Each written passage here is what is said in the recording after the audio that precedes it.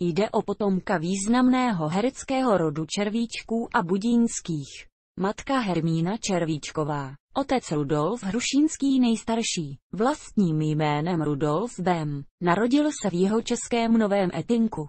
Dnes Nová Včelnice, doslova za jevištěm po představení taneček Pany Márinky. Cestoval s kočovnou společností své babičky Anny Budínské Červíčkové. Už v dětství hrál několik rolí v divadle. Později se rodina usadila v Praze. Studoval na gymnáziu, ale pro časté absence kvůli divadelní činnosti byl vyloučen. Uvažoval o různých povoláních, např. právník, ale nakonec se stal hercem. Jeho prvním profesionálním působištěm se stala Holešovická Uranie. 1935 a Burjanovo Déčko. V té době začal vystupovat v prvních filmech. Do svých 25 let hrál v 17 filmech. V období 1940 až 1943, 1945 až 1948 a znovu pak v letech 1949 až 1950 působil v divadle na Vinohradech. V letech 1950 až 1960 v městských divadlech pražských.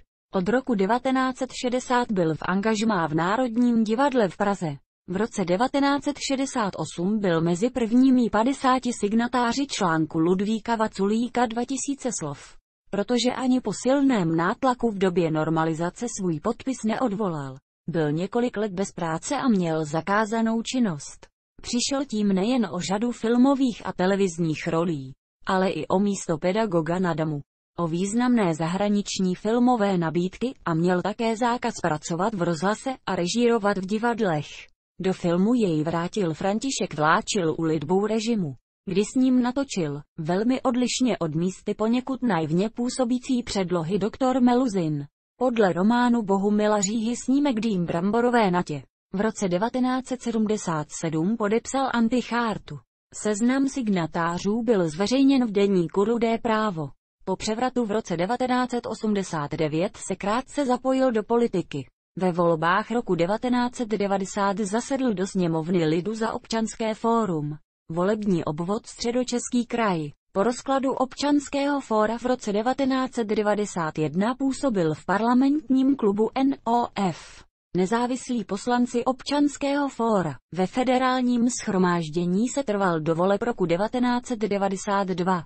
Podle svého syna neměl původně o aktivní politickou kariéru zájem a na kandidátku občanského fóra. Nastoupil s tím, aby byl zařazen na její zadní pozici. Jenže ve volbách získal tak velké množství preferenčních hlasů, že po zvolení poslancem nechtěl rezignovat na mandát. A tak ve federálním schromáždění strávil celé volební období. Jak uvádí jeho syn, z parlamentu odcházel po dvou letech zklamán aktivní politikou. Oženil se v prosinci 1945. V roce 1946 se narodil syn Rudolf. V roce 1955 Jan. Oba se stali také herci. Herci jsou i jeho vnuci Kristýna Hrušínská a Rudolf Hrušínský nejmladší. Vzdáleným příbuzenstvem Rudolfa Hrušínského je herecký rod Petra Kostky.